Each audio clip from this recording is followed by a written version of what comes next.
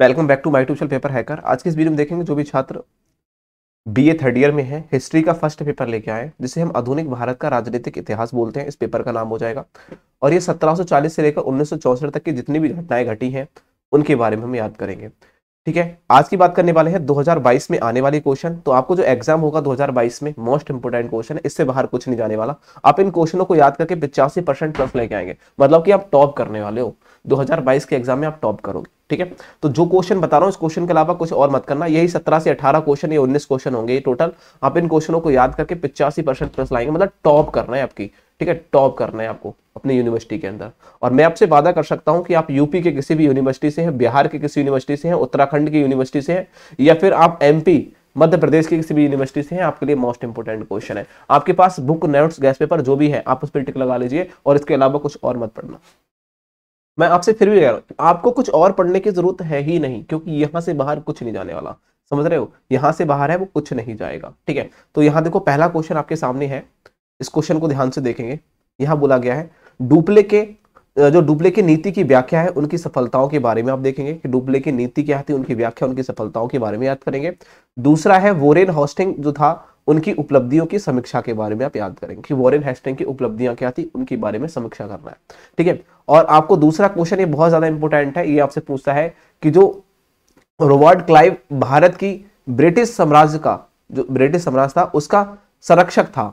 इस कथन की आपको पुष्टि करनी है कि वो ब्रिटिश साम्राज्य का संरक्षक था। आपको इस कथन की पुष्टि करिए। एक कथन दे रखा है और इस कथन की पुष्टि करने के लिए बोलता है, ये मोस्ट इंपोर्टेंट है, इसको टिक लगा लेना। और ये तो वेरी इंपोर्टेंट है, इसको आप 100 परसेंट एग्ज़ाम में देखने को मिलेगा कि प्लासी का युद्ध है जो सत्रह में हुआ था, उसका कारण क्या था, उसके महत्व क्या थे और प्लासी का जो युद्ध हुआ था, उसका परिमाण क्या निकला, ठीक है? उस परिणाम के बारे में भी आप याद करेंगे। नेक्स्ट क्वेश्चन पर टिक लगाएँगे। देखो, प्रथम और द्वितीय जो कह सकते हैं, अंगला, जो मराठा था, उनका युद्ध उल्लेख के बारे में आपको देख लेना है। जो कह सकते हैं, अंगल मराठा कह सकते हैं, उनके युद्धों के बारे में आपको उल्लेख करना है। और उसके बाद में लार्ड, जो कार्वोलिस के, उनके सुधार विवेचना के बारे में याद करने है उनकी क्या क्या सुधारों की जो विवेचना थी उसके बारे में, और लॉर्ड विलियन वेंटिंग के सुधार के बारे में आप देखेंगे, लॉर्ड जो लॉर्ड विलियन वेंटिंग थे, उनके सुधार क्या थे, उन सुधारों के बारे में आप वर्णन करेंगे, मोस्ट इंपोर्टेंट है।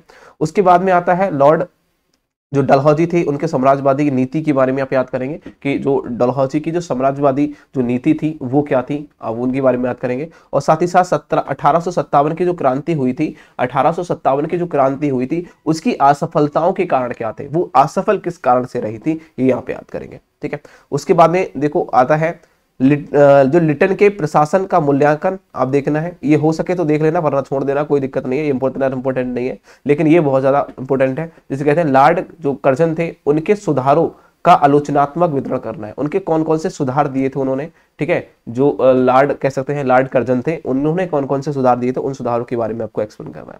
नेक्स्ट क्वेश्चन है 1935 की आधुनिक जो कह सकते हैं, अधिनियम की जो प्रमुख विशेषताएँ हैं तो 1935 की 1935 के अधिनियम की जो मुख्य विशेषताएँ हैं, उनके बारे में देखना है। और देखो, क्रांतिकारी के मुख्य कार्य क्या होते हैं? क्रांतिकारी के मुख्य कार्य क्या होते हैं? उसके बारे में आप याद करेंगे। मोस्ट इंपोर्टेंट है।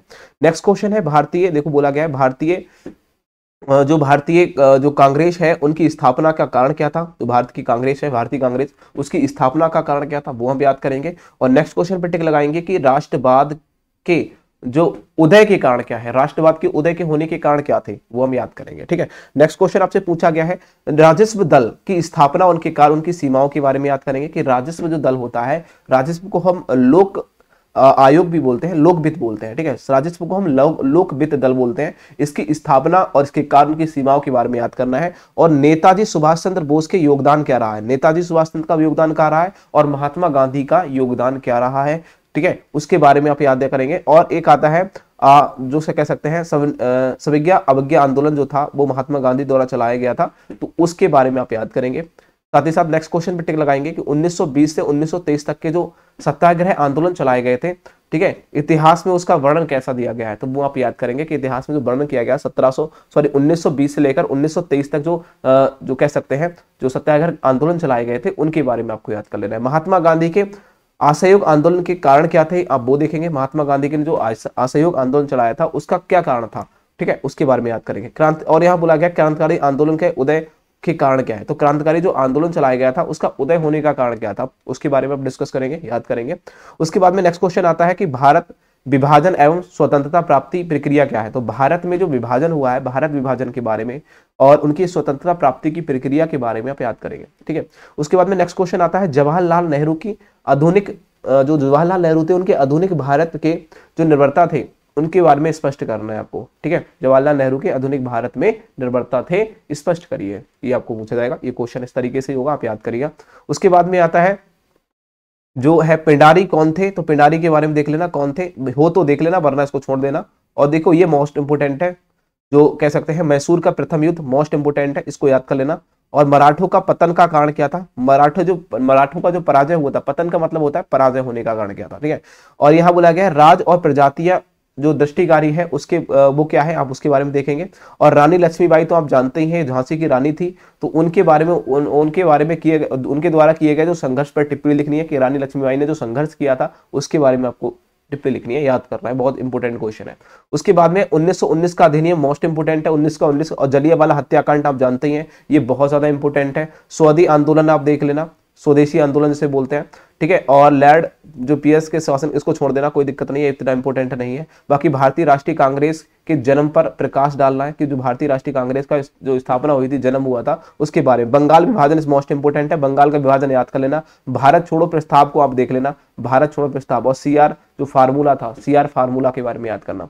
ये क्वेश्चन थे 2022 में आने वाले क्वेश्चन इन क्वेश्चनों को याद करके आप पिचासी परसेंट ला सकते हैं। मैं आपसे वादा करता हूँ कि यहाँ से कोई भी क्वेश्चन बाहर नहीं जाएगा। आप ज़्यादा से ज़्यादा वीडियो को शेयर करिएगा। कोई भी दिक्कत है तो कॉमेंट सेक्शन में पूछ सकते हैं। हमारा व्हाट्सएप नंबर डिस्क्रिप्शन बॉक्स में दे रखा है। चैनल को सब्सक्राइब कर लीजिए। बाय बाय टेक केयर अपना ख्याल रखिएगा.